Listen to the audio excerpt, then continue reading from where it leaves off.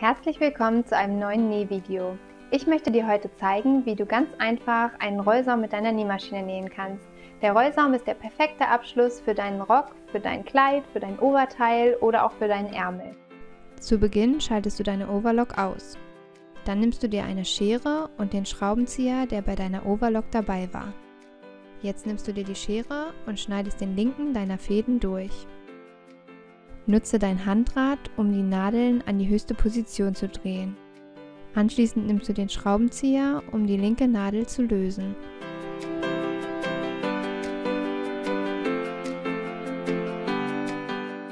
Ziehe die Nadel jetzt aus der Halterung heraus und lege sie beiseite.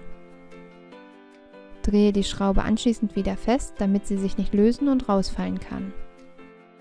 Jetzt öffnest du deine Overlock.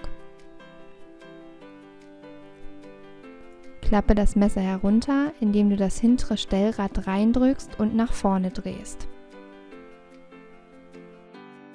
Anschließend verstellen wir die Beschneideeinrichtung, indem wir das vordere Stellrad reindrücken und den roten Schalter von S auf R stellen.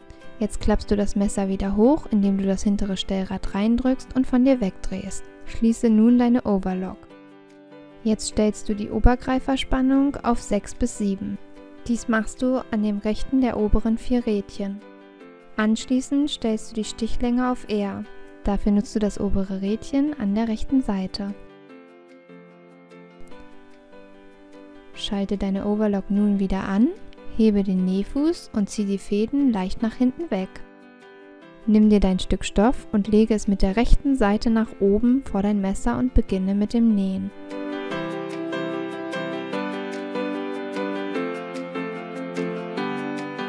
Auf diese Weise hast du dir einen wunderschönen Saumabschluss mit Hilfe deiner Overlock genäht. Hier siehst du noch einmal den Unterschied zu deiner rechten Stoffseite.